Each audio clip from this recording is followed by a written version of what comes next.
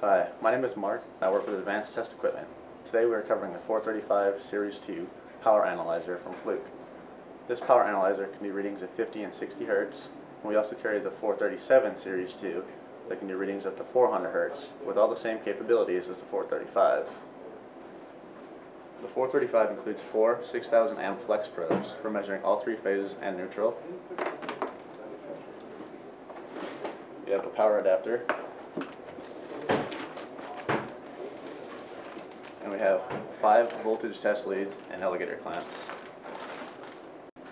This is where we connect our voltage leads, this is where we connect our current probes, and this is for the power input. These are our current probes, hooked up to A, B, C, and neutral. Make sure they're on there securely.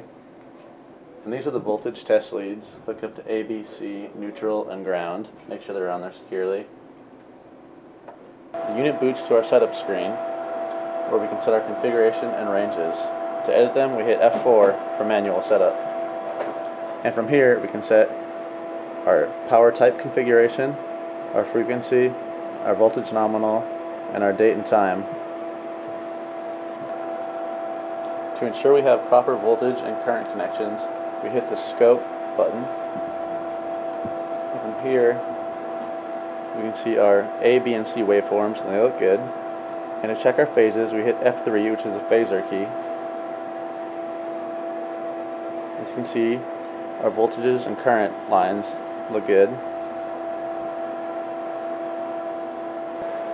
The unit automatically records, but to change our settings, we hit the logger key.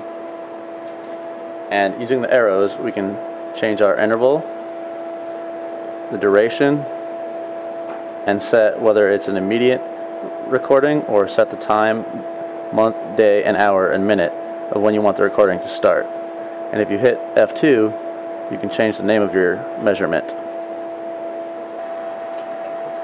All the options in the menu screen automatically record. As you can see we have a wide variety of available measurements and analysis from dips and swells, harmonics, power energy and on page 2 there's flicker, transients, power wave, etc. We are going to do the volts, amps, hertz measurement. From this menu we have the meter. We can also switch to trend and watch a live feed of our measurements. Take a screenshot of this, we hit save screen. To leave this menu, we must end our reading by hitting the hold run F5 button.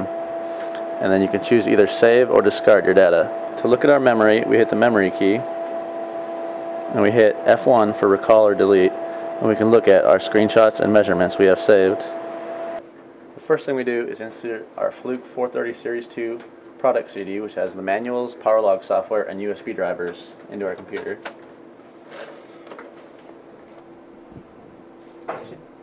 And to connect to the PC, on the left hand side there's a dust cover and underneath there there's a micro USB port.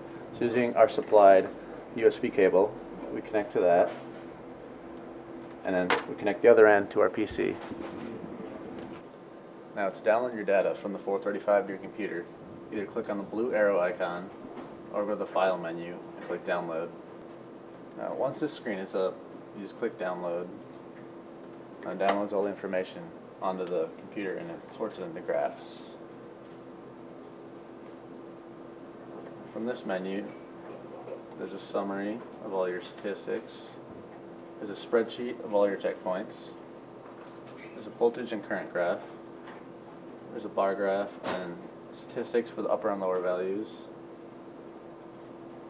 There's a frequency graph, and there's harmonics.